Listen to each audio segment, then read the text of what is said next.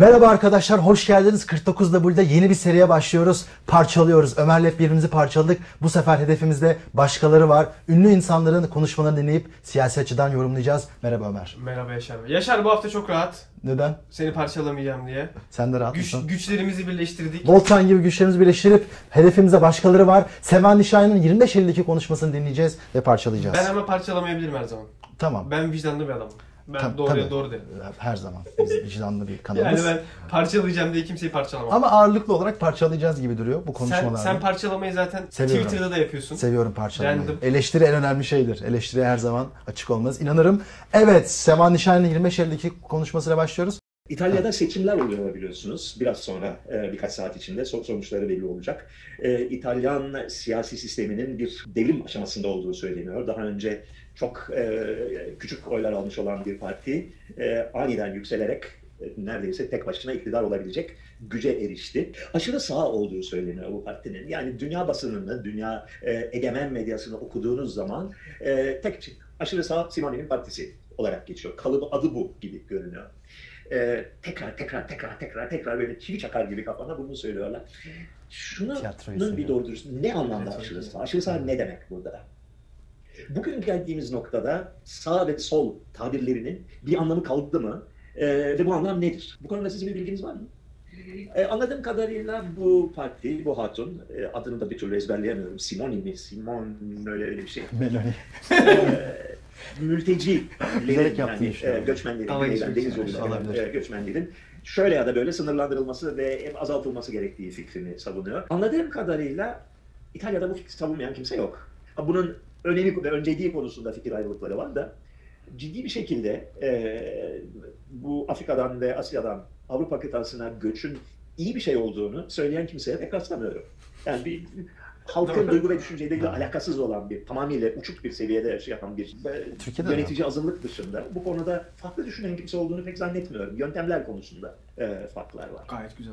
Artı aşırı sağcılığın sadece buna indirgenmesi ve dolayısıyla kötü bir şey olduğunun e, varsayılması nasıl bir yaklaşımdı bilemiyorum doğrusu. Bu da fena bir. Benim bildiğim Tabii, tabii. bu partinin en önemli, en kayda değer platformu NATO'dan çıkmak istemesi. Bu yanlış mesela. Yanlış mı? Yanlış aynen. Meloni ilk baştan itibaren e, NATO destekçisi aslında. Yani NATO'ya karşı bir şöyle aslında. Meloni diğer aşırı sağcılardan NATO destekçisi olmakla ayrışıyor. Sağda NATO karşıtlığı şeyden mi kaynaklanıyor? Biz kendi egemenliğimiz, Aynen. kendi savunmamızdan Evet. sorumlu olmamız lazım. Aynen. Savunmayı bırakırsak egemenliği de bırakıyoruz aslında. Aynen. Ama Meloni şöyle uzun bir süre AB karşıtıydı. Fakat NATO karşıtı değildi.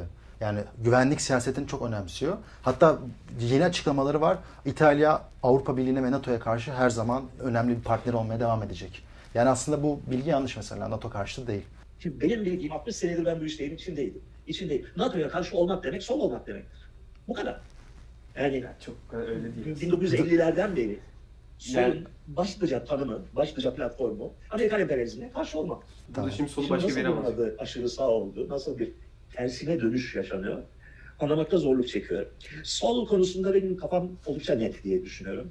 Ee, sol Fransız ihtilali zamanında çıkmış bir e, Şeyden geldi. düşünce akımıdır ya da bir siyasi ifadedir. Sol demek kraliyete ve dolayısıyla var olan iktidar düzenine, var olan egemenlere karşı olmak demektir. Devrimci olmak demektir. Ee, 19. yüzyıl boyunca aynı zamanda sol demek Batı e, dünyasında, Avrupa dünyasında kilisenin tahakkümüne karşı olmak demektir. Yani kiliseye, krallığa, e, aristokrasiye, var olan egemen zümreye karşıysan bunun adı soldur. Taraftarsan sağdır.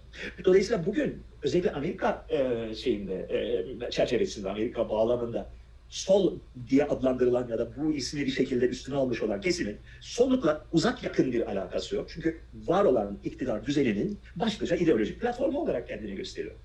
Yani bu bütün e, Covid'ci, e, kürtajcı, feminist, eşcinselci, transçı ve Rusya düşmanı Konu ve buraya e, silahlanma yanlısı var olan egemenlik yapısını savunan bir acayip ideolojik platform ortaya çıktı ki bunun adı adıyla sanıyla sağdır. Sağ mıdır Ömer? Bu sağdır. Yani şöyle. Amerika çünkü Amerika'yı anlatıyor. Amerika'da bir karışıklık var. Ama şimdi yaptığı sol tanım şöyle. Var olan egemenlik yapısını değiştirmek soldur diyor. Bunu korumaya çalışmak da sağdır diyor. Böyle bir sol ve sağ tanımı yok. Yok. Yani. Yani sol tanımı aslında en ortodoks olarak baktığımızda var olan ekonomik düzeni değiştirme çabası. Solun iddiası şu, var olan ekonomik yapıyı kolektifleştirelim, merkezi hükümete aktaralım. Sağın da iddiası, var olan kolektif yapıyı serbest piyasaya bırakalım ve bireyler burada kendi istedikleri özel iştirakları kursunlar. Mesela sosyalist devrim oldu Hı hı. Sovyetlerde. O noktadan sonra Sovyetler sağcıdır. Sağdır. Neden? Ve var olan yapıyı koruduğu için mi? Evet. Sevan Hocam'a göre Sovyetler ona göre sağ. Çin Komünist Partisi. Sağcı bir partidir. Sağcıdır. Çin'in zaman, en sağ partisi Çin Komünist Partisi'dir. Çünkü varolunu korumaya çalışır. o zaman dünyada böyle terör örgütleri dışında herkes sağcı. Herkes sağcı. Sağ ve sol yok abi. Herkes sağcı. Yalnız ben şöyle bir ikinci söylediğinle İran ilgili- İslam devrimi. Devrim olana kadar solcu, devrim olduktan sonra sağcı. Bu arada gerçekten böyle var. İran İran devrimi yapılana kadar solcularla İslamcılar işbirliği. Sonrasında İslamcılar solcular şey yapıyor ama ikincisi ya bu AKP? zaten AK Parti gelene kadar sol sonra sağ oldu böyle. Nişanyan'daki sıkıntı kafasından bir tanım belirliyor, bir kriter veriliyor ve her şey onun üzerine okuyor. Ama zaten solun temel iddiası zaten gelir dağılımının üzerinden bir tartışma var. Onu es geçince solu anlayamıyorsun. Yalnız ikinci söylediğine geleceğim. Diyor ya işte Amerika'da işte yine böyle kürtajcı bilmem neci trans haklarını savunan bir düzen ortaya çıktı. O da diyor sağcıdır. Zaten sola göre kapitalizm içerisinde bir özgürlük alanı yok. Zaten sol kendini özgürlükçü olarak adlandırır. Proletarya diktatörlüğünde özgürlük mü varmış? Evet yani sol iddiası bu. Dolayısıyla aksi Çok özgürler. yani şu an baktığımızda kapitalizm içerisinde çok mu özgür diye sorguluyor insanlar. Ekonomik Belki de o kadar özgürlük yoktur. Değil mi? Yani özgürlüğün her zaman bir sınırı vardır. Bazı rejimler daha özgürlükçüdür mukayesel olarak. Bazıları daha az öz- özgürlükçüdür. Yani bugün mesela Avrupa'ya bakarken de şey diyorlar ya o arada bir gelir. Bu mu ya Avrupa özgür Avrupa dediğiniz bu mu? Ya bunun şeyi yok tabii ki. Mutlak bir özgürlük, mutlak bir demokrasi, mutlak bir harikalar diyarı. Böyle bir şey olmuyor. Ama mukayeseli bakalım. Şimdi Dereceli bakalım. Sovyetlerin şöyle bir tercihi vardı. Eşitlik versus özgürlükte. Eşitliğe biraz daha yakın. Ama sol ideolojinin asıl görmek istediği şey Sol şu. ne şu an senin? Bir soldan, onu bir söyleyelim. soldan Marksizmden bahsediyorum. Marksist sol. İdeolojinin temeli aslında biz ekonomik eşitliği sağlayalım ve bunun için proletarya diktatörlüğü var. Daha sonra bu komünizme gidecek. Aslında orada şu çok önemli bence sol, sol anlamak için. Hep bir tarihselci anlayış var. Böyle kademe kademe insanlık tarihi o İnsanlar adımları şu an tırmanıyor. özgür değil. Biz bir devrim yapalım. Evet. Kan akıtalım. Bizimle aynı düşünmeyenleri hapse atalım, keselim. Özgürleşirler bir noktada. Eğer bizimle aynı düşünüyorlarsa. Bizimle aynı düşünmüyorlarsa zaten. Ama bütün devrimler yani Fransız devrimi Ben, de ben, her şey ben kanlı. sol, solun özgürlük hikayesini ben yemiyorum abi kusura bakma. Ee, Ama günümüz solunu anlatırsan Ya günümüz solunda şöyle bir şey var. Bence orada daha da sıkıntılı. Yani günümüz solu 1970'ten sonra bu gelen eleştirileri aslında anlayıp evet biz eşitlikte çok kafayı bozup özgürlüğü önemsemediğimiz için hiç özgürlükte konuşmadık deyip sonra neleri dahil etti? Bir bireysel özgürlüğü daha çok konuşmaya başladı. Evet. Özellikle biraz Gramsci'nin etkisi. Sen dedin ya "Ş- kanlı mı dökülecek? Gramsci mesela Avrupa solunu tamamen değiştirdi. Dedi ki insanları kan dökerek ikna edemeyiz. Böyle rejim getiremeyiz. İnsanları ikna etmemiz lazım. Bu da aslında daha bizim bahsettiğimiz merkez sol getirdi Avrupa'da. Sonra Aynen. zamanla şey oldu. Trans hakları, hayvan hakları, göçmen hakları gibi ye- yeni özgürlük alanları belirledi. hatta buna da şu dendi. Liberal sol, liberal sol ve sol şeyden koptu. Halktan koptu. Yani sol esas oynadığı işçi sınıfından koptu. Gerçek meselelerle ilgilenmiyor. Vokizm hikayesiyle acayip dalgalara gittiler. Genel böyle bir eleştiri var ya Avrupa'da. Hı hı. Ya sol hayat, hayattan koptu, insanlardan koptu. Ben ona ikisi. çok katılmıyorum ya. Yani yani şöyle katılmıyorum. Sol için temel dertlerden biri artık 1970'ten sonra özgürlük ve marjinal kesimlere odaklanıyor. Translar bunun içerisinde, göçmenler bunun içerisinde, e, baktığımızda hayvanlar bunun içerisinde. Yani o onların özgürlüğü de önemli sol için. Anladım. Dolayısıyla bu sağcılık değil. Yani ben kesinlikle katılmıyorum. Bence çok Ama orada. Amerika konteksinde başka bir durum var. Amerika'da onlar establishment'dan bahsediyor Aynen. ama yanlış okuduğunu düşünüyorum orada da. Şunu söyleyeyim bir de. Trans haklarını savunan sağcı var mı mesela?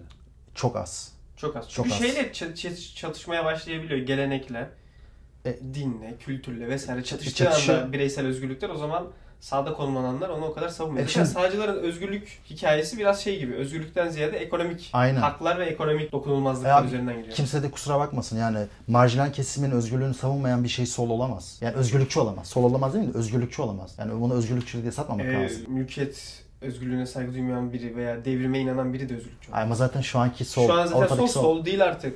Merkezleşti yani o yüzden. merkez sol değil mi? Sol kendini ekonomik olarak daha yeniden dağıtımcı politikalar üzerine bireysel Tabii. özgürlüklerle Aynen. endeksledi. Yani değişti yani dönüştü biraz. O o dönüşümü görmeyince işte bu nasıl sol, bu nasıl sol falan diyorsun. Yanlış bir okuma bence. Şimdi İran'a geliyoruz. İran'da Solu bıraktık. gencecik bir kız başörtüsü açık diye polis tarafından döre döre öldürüldü. İran ayaklandı. İran halkı ayaklandı. Bu konuda bir diyeceğiniz var mı Sayın Nişanyan?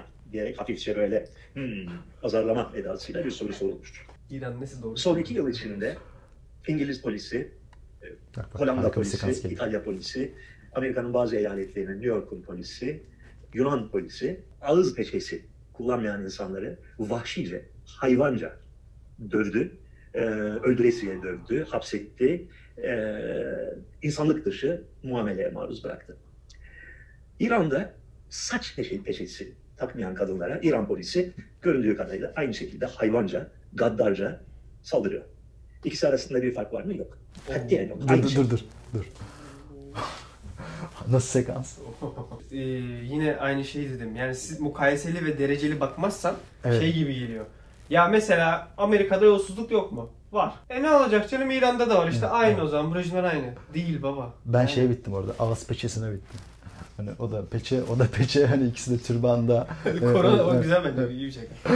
ya bilerek yapıyor yani. Çok böyle insanın içine gıdıklayıcı hani onu böyle seni şey yapıyor böyle anladın Hoşuma mı? gitti ben hocayı çok seviyorum. Bu yüzden seviyorum. Sen onu rahatsız ettiği için seviyorsun. Yani bence ama bu rahatsız ediş o kadar fazla rahatsız etme niyeti taşıyor ki o bütün nüansları yok ediyor. Bütün nüansları bir gerçekliği bozuyor. Evet evet Gerçeklik yani bu değil. gerçeklik bu değil. Yani İran'da bütün kadınlara 40 sene boyunca zorla giydirilen başörtüsüyle insanlara maske takmak aynı Evet. şey değil. Bak eş- eleştirebilirsin maske politikalarını. Ben eleştirdim. Çocuklara maske takılmasını eleştirdim. Okullarda zorunlu maske politikasını eleştirdim. Ama yani tutup bunu İran'da kadınlara Maske uygulanan... takmıyor diye var mı? E, ya şöyle oldu bence. Hani polisler bazen hani tartakladı. Şimdi hani bu hiç olmadı değil değil mi? Avustralya'da falan böyle kö- hiç tasvip etmediğim politikalar oldu. Eleştirildi de. Bu kurumsal olması başka bir şey bence. Yani şiddetin kurumsal olmasıyla şiddetin derecesi bunlar önemli şeyler. Yani burada mesela maske takmadın diye bir yaptırım oluyor doğal. Hı hı. Çünkü bir kanunlar var, regülasyonlar var. Ona uymanı bekliyorlar. Hı hı. Burada bunun atladığı şey şu. Şöyle bir analoji yapacağım yine. Şimdi bütün devletler bir kanunla yönetiliyor. Kanunda işte bir takım direktifler var ve o direktiflerin dışına çıkamazsın aslında ve yönetimlerde de her zaman bir hiyerarşi var değil mi? Hı hı. Böyle baktığın zaman bütün rejimler aslında biraz totaliter diyebilirsin. Çünkü sana bir şekil vermeye çalışıyor hepsi. Evet. Çünkü bir kanunlar var değil mi? Bir code of conduct var. Şurada şöyle yapacaksın, burada böyle yapacaksın. Maskeni işte metroya binerken takacaksın. Bak ne kadar totaliter. Hayatın her alanını kontrol ediyor. Şey böyle derdi. Sosyal kontrakt bu abi zaten. Evet. Bu zaten. Beraber yaşama için top, zor kurallar var. Şimdi buna bakıp şunu diyemezsin yani. Bak bu totaliter. E Bu da totaliter. Sovyet rejimi de totaliterdi, Naziler de totaliterdi. İkisi de totaliter. Aynı şey. Değil baba. Aynı şey değil. Yani bir de bence şöyle bir sıkıntı var. İkisi neden uygulanıyor hiç bakmıyor. Yani İran'da işte bir dini temelli ve kadınları işte o dini temel neticesinde baskı altına almak var. Kabul edersin veya etmezsin. Avrupa'da geçici dönem için belli sağlık politikaları üzerinden uygulanmış bir kurallar bütünü var. Dolayısıyla bence ikisini eşitlemek de adil değil. Biri istisnai, biri Yani yapısal. yani. Bu bence çok önemli bir fark. Ama bence ikincisi birinin işte daha fazla ekspertiz üzerine konuşabiliyorsun. İşte maske takmak işte binde beş azaltıyor. Biri çıkıyor diyor ki hayır binde beş azaltmıyor. Yani orada daha tartışılabilir politika alanı var. Ama İran'da uygulanan şey abi tartışabileceğin bir şey değil. O kutsal olan. Yani diyor ki rejim bu Allah'ın emri ve bunu uygulamanız lazım. Bunu eleştirebilir misin? Buna karşı çıkabilir misin? Buna karşı Evet. alternatif bir politika getirebilir misin? Getiremezsin. Ama maske politikalarında Avrupa Birliği evet bence batıda da belli yerlerde çok ileri gitti. Yani şey anlamda mesela zorunlu aşı tartışılabilir. Zorunlu aşı hani şey siyaset felsefesi açısından tartışılabilir bir şey. Emrah Safa Gökhan şey demişti mesela. Ben bu konuya giremem. Zor bir tartışma demişti. Zorunlu aşı bence de çok mantıklı değil. Zor bir tartışma. Ben kendi adıma. İnsanlar bırak ölebilirler abi. İnsanlar tercih ediyor. Bırak adam inanmadıysa aşıya gerek yok diyorsun. Bunun deme sebebim şu. Bu alanlar yani bu eks, ne diyelim burada bence daha akıl üzerinden dönen bir tartışma var. İşte maske şu kadar insan öldürüyor takmazsanız şöyle olur. Bir de burada insanları ikna etme çabası var. İran'da yok. Takacaksın. Takmak zorundasın. Bu Hayır, Allah'ın emri bitti. Bir dakika şuna en en fikir değilim. Akıl üzerinden dönen bir tartışma olsa ve İran'daki herkes aklen şuna karar verse. Ya başını kapatmak gerekir. Kapatmayan sıkıntılıdır bu. Okey misin buna? Bence bu çok önemli bir şey değil. Bana Akıl kalırsa tartışması çok önemli değil. bana kalırsa şey bu Zorbalık zorbalıktır. Zorbalığın sebebinin yani şimdi zorbalığın derecesi ve yapılış şekli önemli bence. İkimiz de zorbayız. Ben akla dayalı zorbayım. Ben ben aydınlanmış diktatörüm. O yüzden benim zorbalığım okey. Ama ben Yani, şunu söyledim. Şunu söyledim.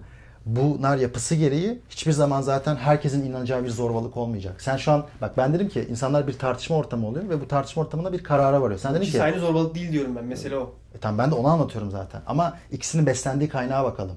Benim anlattığım senaryoda her zaman bir doğası gereği bir tartışma alanı var. Çünkü tartışabileceğin şeyler konuşuyorsun. Maske faydalı mı zararlı mı şöyle mi böyle mi bugün konuşuluyor. Bunun hakkında paperlar yazılıyor. Bunun hakkında istatistik çalışmalar yapılıyor. Başörtüsü üzerine neyi tartışacaksın? Yalan üzerine kurulu gerekçeler bunlar. Yok efendim saçı görülürse erkekler tahrik olurmuş, aileler bozulurmuş. Yok efendim ağzı açık olursa e, hepimiz ölürmüşüz, ninemiz ölürmüş. Yani bunlar ikisi de e, Bu tam benim dediğime cevap veriyor mesela şu an. Demin anlattığım şeye cevap veriyor. Mesela yani. Yani ben dedim ya birinin sebebi yok. O da diyor ki hayır sebebi var diyor ikisinde aslında. Mesela başörtünün de sebebi var diyor. dünyada, İslam ülkelerinde ve İslam olmayan ülkelerde kadınların nasıl giyindiğini pekala biliyorlar. Ona özeniyorlar. Ha, faydasını, zararını tartışıyorlar belki fakat özeniyorlar. Bundan kuşku yok. Bunun normal bir şey olduğunu da artık yani televizyon seyreden herkes, film seyreden herkesin bildiği bir şey. E, problem ne o zaman? Problem şu. Sana bir emir verilmiş kardeşim. Bu emre sen ne cüretle karşı gelirsin. Bu emre karşı geldiğin için beni yok ediyorsun. Benim eee varoluş sebebimi ortadan kaldırıyorsun.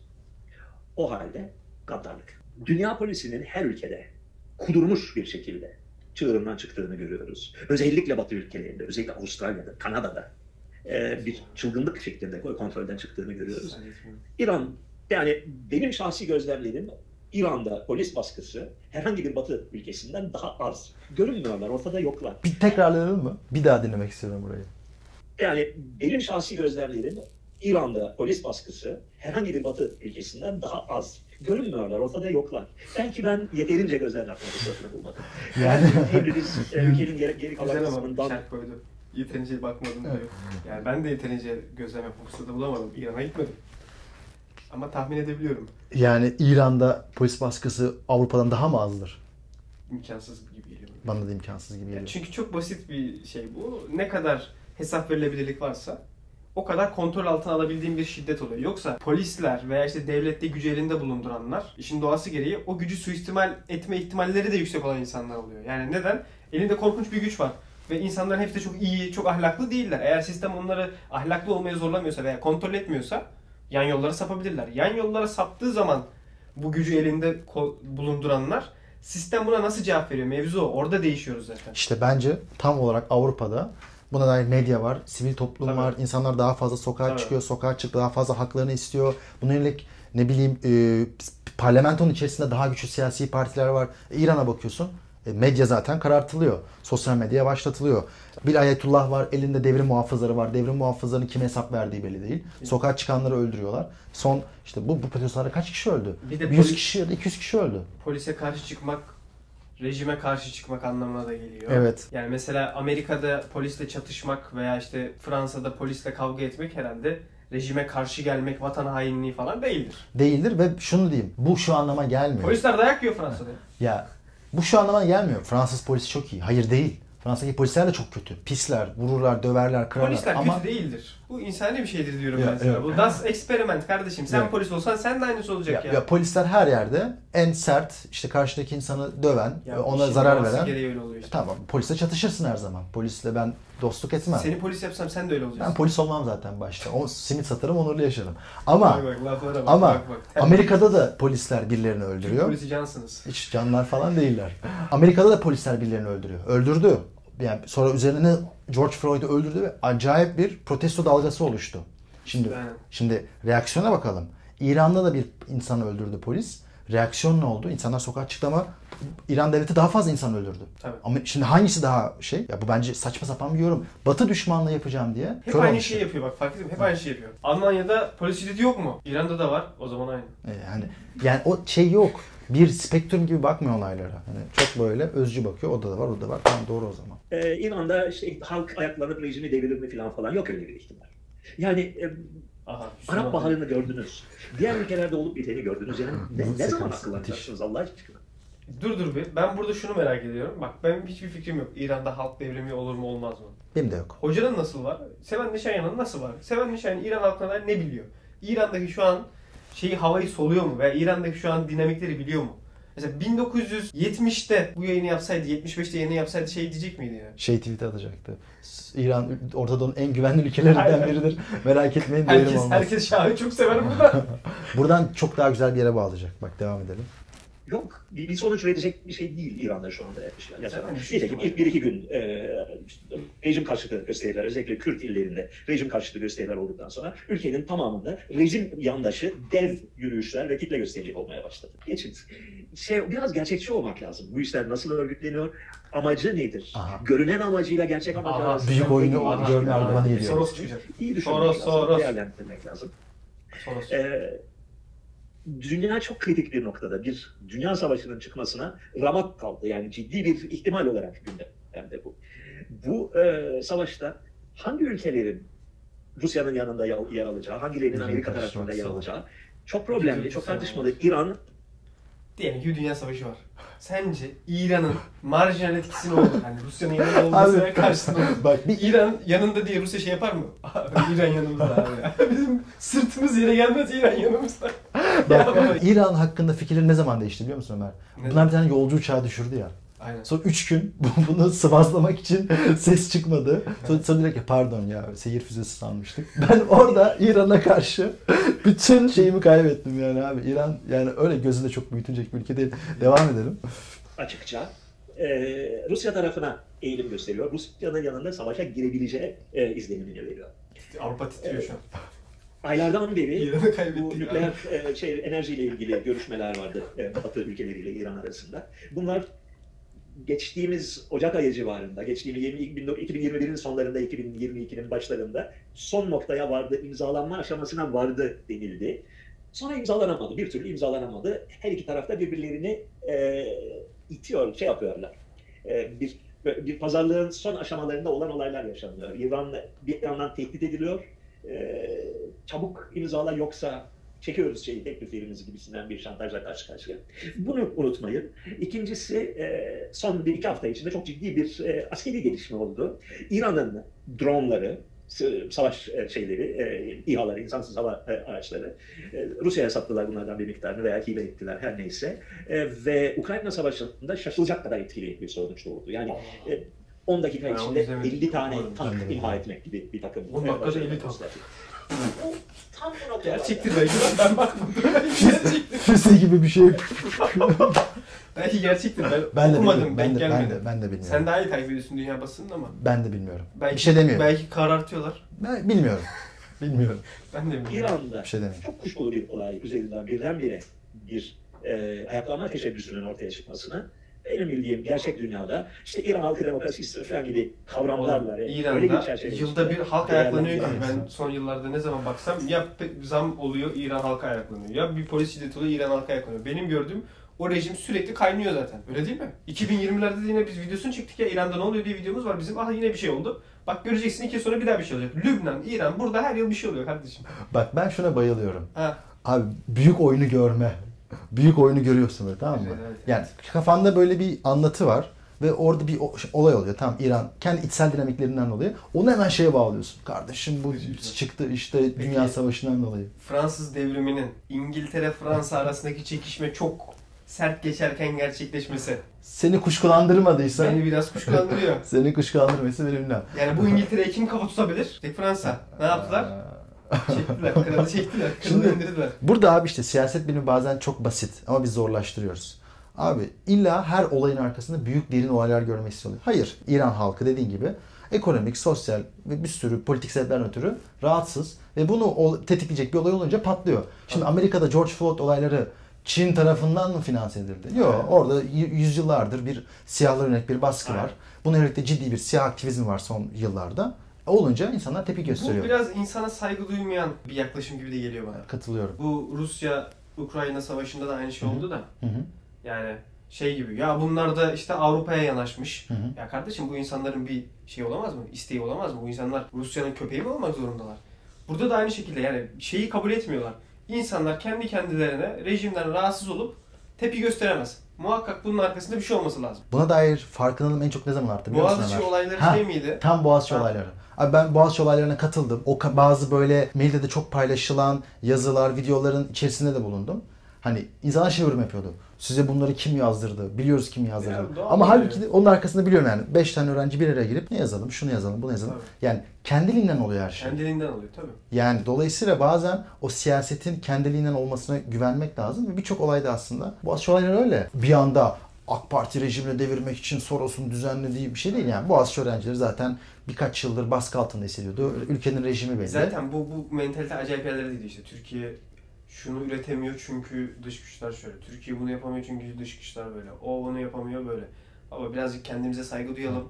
Karşımızdaki insanları da abartmayalım. Amerika şunu kontrol... Ya Amerika kendi beslediği cihatçıyı kontrol edemiyor. Kardeşim sen ne anlatıyorsun ya? Amerika Afganistan'da beslediği adam geldi Amerika'yı vurdu ya. Bu insanları böyle kontrol etmek böyle kolay değil. Hiç kolay değil. Hiç kolay değil ya. Sen parasını verdin diye adam kontrol edebilir misin? Ne kadar kolay. Bir de bence bu daha büyük bir zihin tembelliğine yol açıyor. Hep iradeyi kendi üstüne atıyorsun.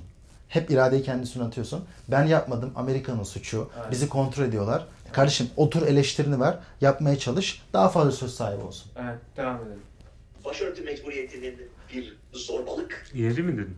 Bir geri al. Çünkü orayı Tam tam... cümleyi tam alalım. Aynen. Hı. İki yer. Aynen. Şu, buradan şeye bağlayacak şimdi. Neyse. değerlendiremezsiniz diye düşünüyorum. Buradan NATO'ya bağlayacak. Ha, e, başörtülerini atmak isteyen kadınlara sempati duyuyor muyum? Tabii ki duyuyorum.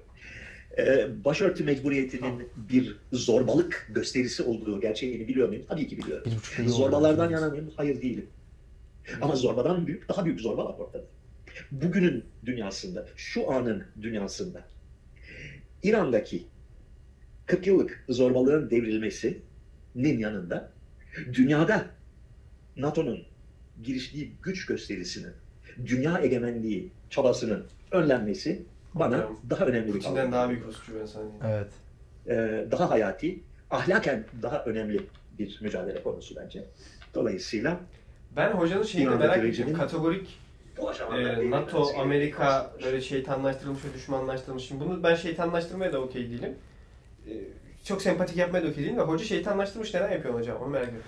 Yani neden orada Putin'i seçiyor mesela? İkisini de seçmem ama. Ya Ben işte- onu da anlamadım. Onu da keşke anlatsa.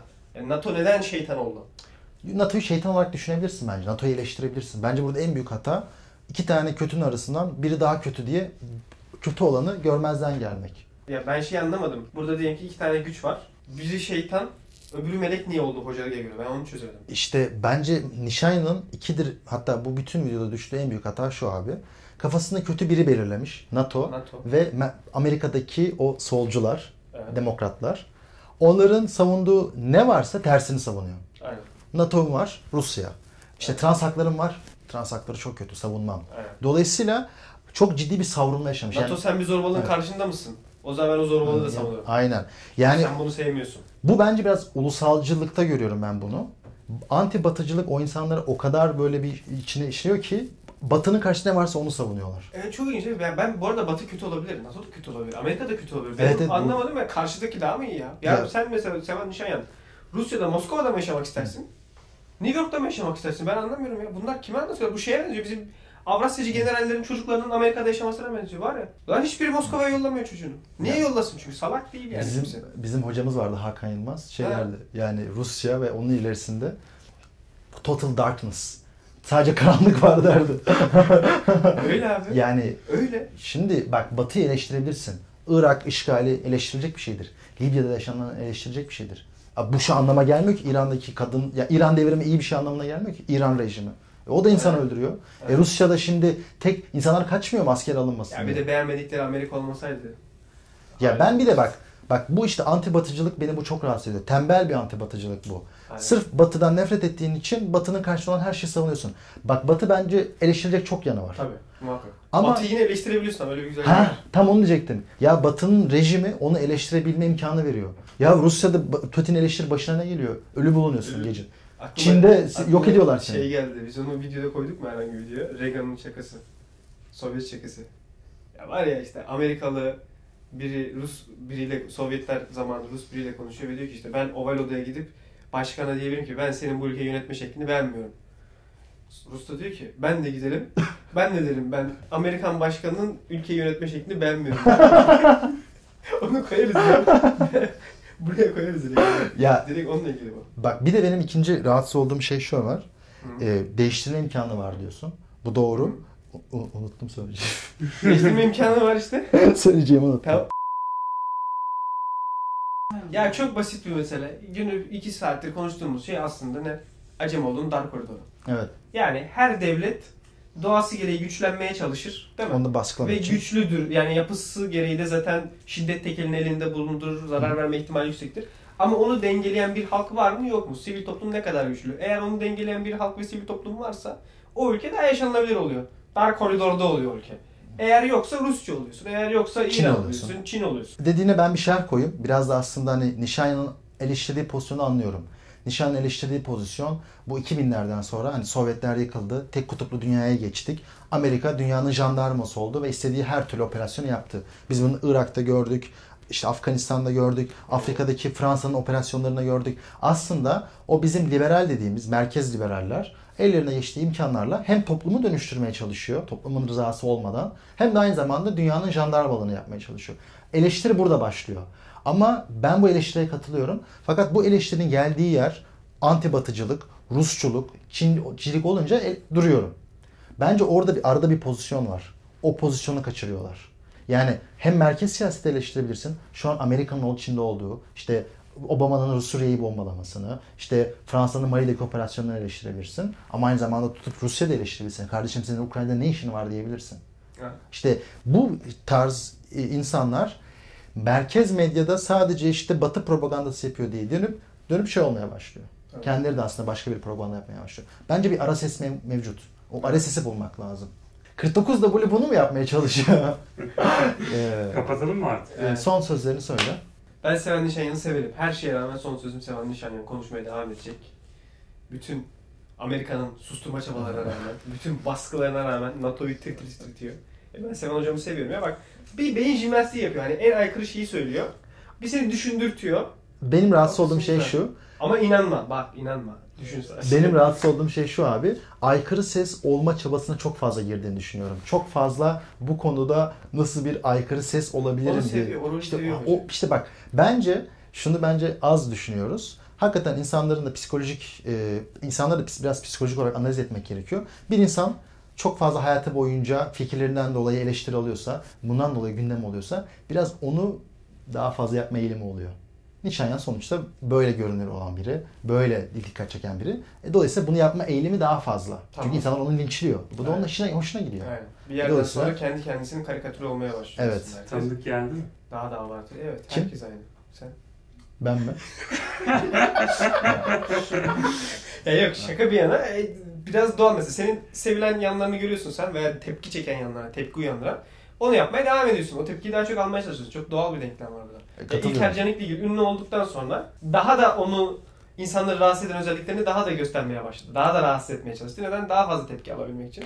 Sen mesela dans ediyorsun, tepki alıyor. Daha çok dans etmeye başladın. Bu bana biraz doğal geliyor. Biraz medya ile de alakalı. Medya ile alakalı. E, Bunu eleştirince sen bir şey demiyorsun da bana ama yine entelektüelin en önemli sorumluluğu söylediği yani mesela söylem Hakikate olan ina- yani sa- sadakattir. Ya- yani Hakikat inancıdır. Hakikate düşündüğü hakikati söylemesi lazım. Çünkü yani mesela dans edebilirsin ama söylemlerin her zaman hep yani ince düşünülmüş ve artık sen ona hakikat mi dersin ne dersin de yani ince düşünülmüş argümanlar olması gerekiyor. ya kendi hakikati. Tabii tabii kendi hakikati. Ama Seven Nişan bunlara inanmıyor mu ki? İnanıyorsa daha kötü. Güzel bilsin.